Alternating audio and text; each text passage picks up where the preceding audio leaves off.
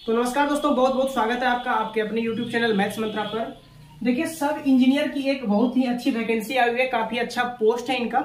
तो आज हम लोग सब इंजीनियर के पोस्ट की जो नई वैकेंसी आई हुई है, इसके बारे में थोड़ा सा डिटेल चर्चा करेंगे।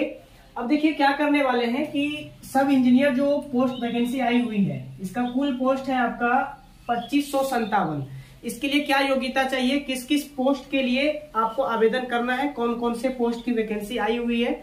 मैक्सिमम मिनिमम आपका एज क्या होना चाहिए? उसके बाद डायरेक्ट डायरेक्ट के रूप में जो है कितनी वैकेंसी है कॉन्ट्रैक्ट बेसिस पे कितनी है और बैकलॉग वैकेंसी कितनी है? तो यहाँ पर कुल तीन प्रकार की यहाँ पर वैकेंसी दी गई है, सब इंजीनियर के पोस्ट के लिए। तो इसके बारे में हम लोग इस वीडियो में जानेंगे। तो चलिए वीडियो को शुरू करते हैं। सबसे पहले हम लोग देखते हैं कि सब इंजीनियर के पोस्ट पे जो न्यू वैकेंसी आई हुई है इसमें पोस्ट क्या है? तो ये हो जाएगा ग्रुप बी सब इंजीनियर के लिए और दूसरा है ड्राफ्ट्समैन के लिए। दो तरह की पोस्ट के लिए जो है ये रिक्वायरमेंट आई हुई है। सबसे पहला आपका क्या है? Sub engineer group group B sub engineer और दूसरा है ड्राफ्ट्समैन अब इसके लिए देखिए सबसे पहले कि सब इंजीनियर पोस्ट है और, और एक ड्राफ्ट्समैन है। तो ड्राफ्ट्समैन का जो पोस्ट है इसके लिए क्या क्या एलिजिबिलिटी रहने वाली है? और आप मिनिमम क्या क्वालिफिकेशन रखते हैं जो कि आप इस फॉर्म को भरने के लिए एलिजिबल होंगे? इन सभी बातों पे चर्चा करते हैं।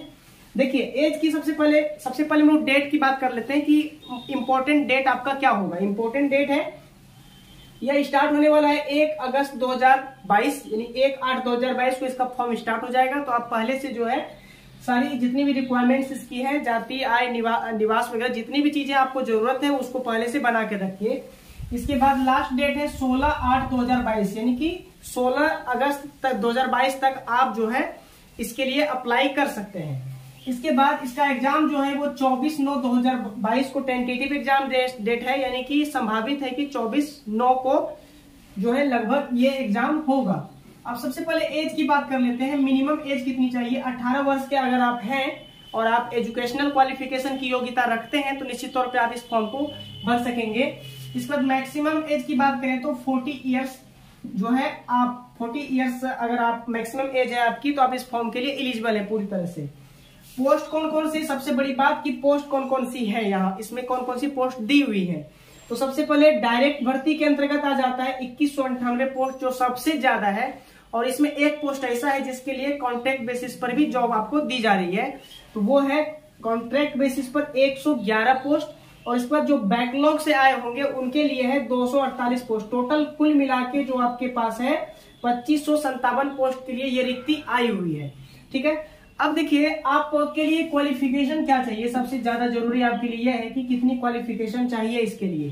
तो क्वालिफिकेशन क्या चाहिए? तो सबसे पहले टेन प्लस टू आपने किया हुआ हो।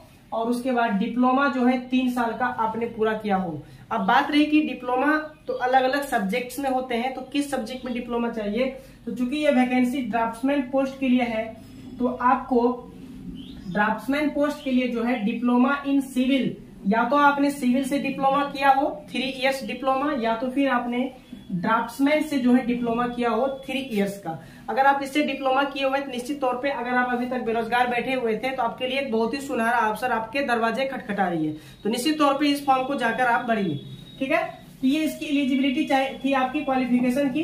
इसके बाद हम लोग बात कर लेते हैं फ़ी कितना लगेगा? तो जनरल के लिए पाँच सौ और ओबीसी एस सी के लिए तीन सौ की फ़ी जो है चलान आपको लगेगी। और देखिए, ये जो ये जो पोस्ट निकली हुई है, ये एमपीपीईबी इसका अर्थ क्या होता है? Madhya Pradesh professional exam board. इनके द्वारा निकाली गई है। तो मध्य प्रदेश के जितने भी कैंडिडेट होंगे, वे रिजर्वेशन का लाभ ले सकेंगे और मध्य प्रदेश से बाहर के जो कैंडिडेट वहाँ फॉर्म अप्लाई करेंगे, उन्हें रिजर्वेशन का लाभ नहीं मिलेगा। वे जनरल में काउंट किए जाएँगे। अगर आप मध्य प्रदेश से हैं तो निश्चित तौर पे आपको एज में भी रिलैक्सेशन मिलेगा थ्री इयर्स का। और अगर आप मध्य प्रदेश से नहीं है तो आपको जनरल में काउंट किया जाएगा। और आपको फ़ी जो है five hundred and sixteen sixty rupees आपको देने होंगे। इसके बाद हम लोग बात कर लेते हैं क्वालिफिकेशन की बात हमने कर ली। इसके बाद बात कर लेते हैं कि आपका एग्ज़ाम सेंटर कहाँ कहाँ रह सकता है। तो एग्ज़ाम सेंटर मध्य प्रदेश में कुछ टाउन्स हैं, जैसे भोपाल, इंदौर, जबलपुर, ग्वालियर, उज्जैन, नीमच, रतलाम, मंदसौर, सागर, सतना, खंडवा और सीधी इसके बाद रीवा। इतने सेंटर्स आपके लिए आयोजित किए जाएँगे तो अब इनमें से आप किसी भी एक सेंटर को आप अप्लाई करते वक्त ज़रूर चूज़ कीजिएगा। बात रही कि अप्लाई कैसे करेंगे तो अप्लाई आपको कैसे करना है?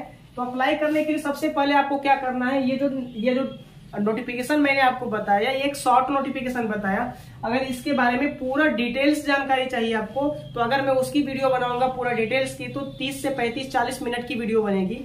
तो मैंने ये शॉर्ट आपको सिर्फ़ सूचना दे दी कैसा ऐसा फॉर्म निकला हुआ है आप जाको भर, जाके भरिए इसको। अगर आपको इसकी डिटेल नोटिफिकेशन जाननी है तो आप इस वेबसाइट पे आइएगा W W W dot M PEB MP dot government dot in इस पे आइएगा और यहाँ से आप जो है नोटिफिकेशन पूरी तरह से जान सकते हैं। दूसरी बात कि आपको अप्लाई किस वेबसाइट पर जाकर करनी है तो उसके लिए वेबसाइट डिज़ाइन की गई है W W W dot PEB M तो आप इस पे जाकर जो है ऑनलाइन अप्लाई कर सकते हैं। और ये रहे आपके एग्ज़ाम सेंटर्स यहाँ पर जाके आप जो है एग्ज़ाम फॉर्म भरते वक्त जो है आपको इन सेंटर्स में से जो आपका सबसे करीबी सेंटर होगा, उसको आप चूज़ कीजिएगा। ठीक है?